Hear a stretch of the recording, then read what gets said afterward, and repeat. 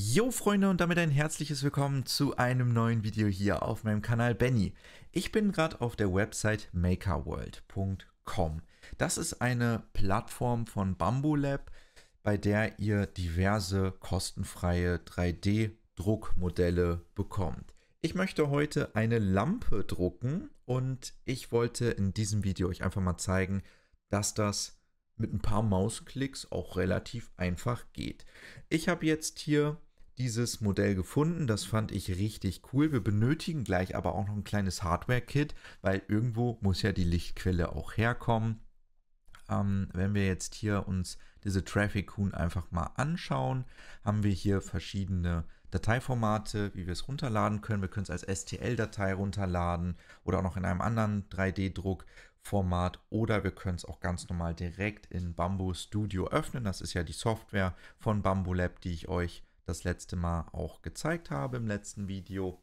Wir benötigen jetzt auf jeden Fall noch vom LED-Lamp das Kit 001. Da ist so eine kleine Lampe drin, die hierfür perfekt konzipiert wurde und auch dann relativ easy, wenn man alles richtig macht, in die Lampe passt.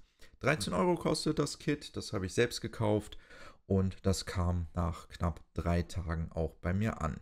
Ich hatte das an einem Sonntag bestellt. Das ging richtig, richtig flott. Es gibt ja auch noch äh, spezielles Filament, was man dafür nutzen kann. PC-Filament, das ist nochmal ein bisschen lichtdurchlässiger. Ich habe jetzt aber hier äh, anderes Filament genutzt, ähm, weil dieses PC-Element oder PC-Filament besser gesagt habe ich in äh, dem Orangeton nicht gefunden. So, wir drücken jetzt auf Open Bamboo Studio, dann öffnet sich die Software und lädt dann direkt dieses Modell in die Software rein. Das seht ihr jetzt hier und das dauert einen kurzen Augenblick, je nachdem wie groß das Modell auch ist. Und hier haben wir dann jetzt quasi die fertige Druckdatei. Sieht jetzt erstmal ein bisschen komisch aus, auch mit diesem Turm da links. Das ist ein Reinigungsturm, damit hinter die fertige Druckdatei auch sehr gut ausschaut. Ähm, wir machen jetzt ein paar Einstellungen, damit das auch alles äh, dann druckfertig ist. Erstmal slicen wir das Ganze, dann können wir oben rechts ein paar Parameter sehen.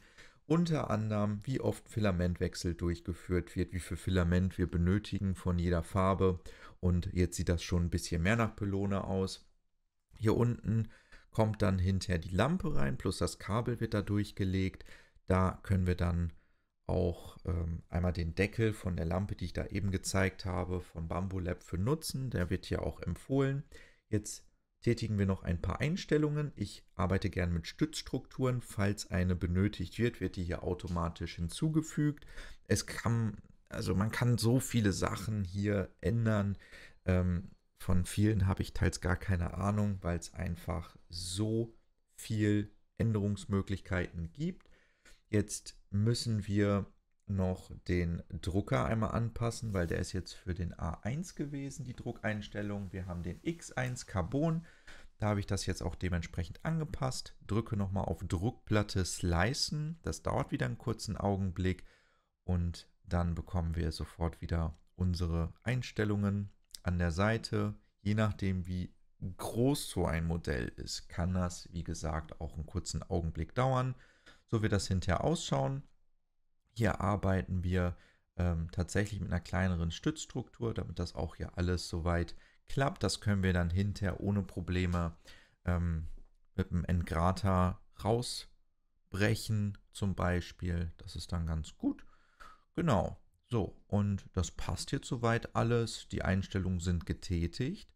Und jetzt können wir dann im Prinzip auch mit dem Druck starten. Ich zeige euch nochmal hier das Filament, was ich habe. Links ist einmal das PC-Filament von Bamboo Lab und rechts ein transparentes oranges Filament, was ich da habe. Das setze ich jetzt auch hier ins AMS ein. Das ist ganz einfach. Einfach da reinstecken und schon zieht er das jetzt gleich rein. Da seht ihr, hat er schon erkannt. Ich habe da jetzt auch links noch ein ganz anderes Filament mit drin. So schaut das dann letztendlich aus. Hier ist die Druckfläche von dem Bamboo Lab X1 zu sehen. Und jetzt gehen wir dann auf Druckpalette drucken. wählen dann hier nochmal unseren Drucker aus, Filamentkontrolle und 3 Stunden 13 Minuten benötigt das Ganze. 93,79 Gramm an Filament brauchen wir. So, wenn das alles passt, klicken wir auf Senden und dann sendet er den Druckauftrag per WLAN an den 3D-Drucker. So, das dauert auch einen ganz kurzen Augenblick und dann können wir gleich weitermachen. Ich freue mich sehr auf eure Reaktion, wie die ausfällt, weil ich finde diese Pylone ziemlich geil. Die steht auch direkt neben mir und ich habe auch selbstverständlich natürlich einen Zeitraffer für euch vorbereitet. Der wird auch automatisch gemacht, wenn man den hier angeklickt habt. Das sieht man dort. Alle Einstellungen sind ja soweit auch aktiviert und ich hatte mich jetzt dazu entschieden, hier nicht vorzuspulen, sondern das einfach mal so laufen zu lassen, wie das laufen sollte. Ihr bekommt dann hier noch eine Live-Ansicht, die braucht immer einen kurzen Augenblick und da könnt ihr auch über die Handy-App beispielsweise zuschauen. Gut, dann gehen wir jetzt in den Zeitraffer und dann seht ihr mal, wie geil das eigentlich aussieht. Hier muss ich dazu sagen, das ist ein Fehler von mir gewesen. Warum? Es war ein komplett neues Filament von einer Marke, die ich noch nicht kannte und dementsprechend ähm, hätte ich da die Temperatur anpassen müssen. Das seht ihr jetzt gleich auch, wenn die Pylone fertig ist, weil so an sich sieht das ja ziemlich geil aus. Jetzt kommt der Filamentwechsel und jetzt kommt sofort wieder der Filamentwechsel, genau jetzt. Und ihr merkt jetzt, achtet mal, es ist runtergefallen. Der Deckel davon ist runtergefallen. Woran liegt das? Liegt einfach an der falsch eingestellten Temperatur. Jedes Filament braucht eine unterschiedliche Temperatur. Manche brauchen 190 bis 240 Grad, andere nur 230 Grad, andere teils sogar 250 Grad. Das kann dann durchaus mal passieren. Hier seht ihr das LED Lamp Kit 001, was ich hier habe. Das werden wir sofort auch einmal ausprobieren, damit ihr das auch äh, einmal sehen könnt, wie das ausschaut.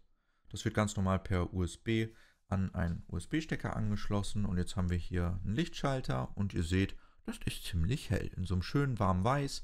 Das konnte ich mit der Kamera gar nicht so gut auffangen, wie hell das eigentlich ist. Ich habe das auch mitten am Tag gedreht, aber das seht ihr jetzt gleich nochmal in deutlich schöner, wie das jetzt hier ausschaut mit unserer Pylone. Ich finde, das kann sich sehen lassen, aber wir müssen jetzt mal kurz noch hier den Deckel oben drauf packen. Das geht auch schöner, Benny. So, so sieht das definitiv schöner aus. Und das ist jetzt die Pylonlampe. Ich finde, fürs äh, Projekt ist das sehr gut gelungen. Danke euch recht herzlich fürs Zusehen und hoffe, euch hat das Video gefallen. Wenn es euch gefallen hat, gebt dem Video gerne eine Bewertung. Dann sehen wir uns im nächsten Video wieder. Macht es gut. Bis dahin, euer Benny.